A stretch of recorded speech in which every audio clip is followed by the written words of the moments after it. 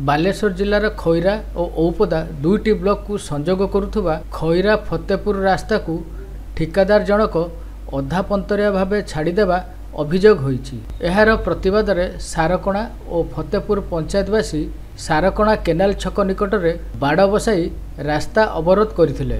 ଏହି ରାସ୍ତା ଅବରୋଧ ହେବା ଫଳରେ ଗମନାଗମନ ବାଧାପ୍ରାପ୍ତ ହୋଇଥିଲା। ଫଳରେ ରାସ୍ତାର ଉଭୟ ପାର୍ଶ୍ୱରେ ଶହ ଶହ ସଂଖ୍ୟାରେ ଯାନବାହନ ଅଟକି ରହିଥିବା ଦେଖିବାକୁ ମିଳିଥିଲା।